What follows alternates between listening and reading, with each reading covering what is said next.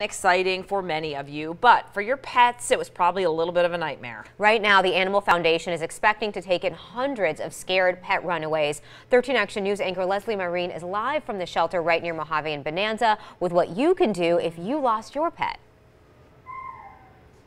Good morning, Dana and Yasmin. Well, First, you want to head to the Animal Foundation's website. We're tracking it this morning, and already several animals have been posted on there that were brought in yesterday. Then you'll want to head down to the Animal Foundation.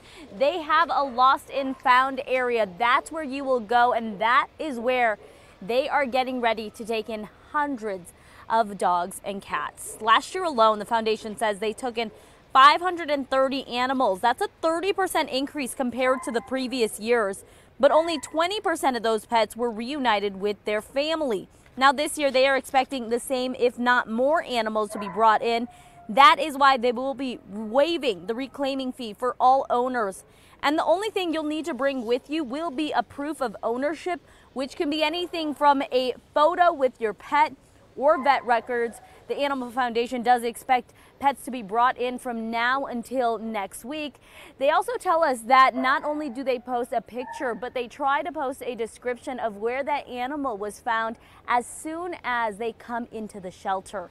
Dana Yasmin. Yeah, the numbers are pretty incredible. Leslie, do they have enough room there at the shelter for the influx of all the new animals expected to come in?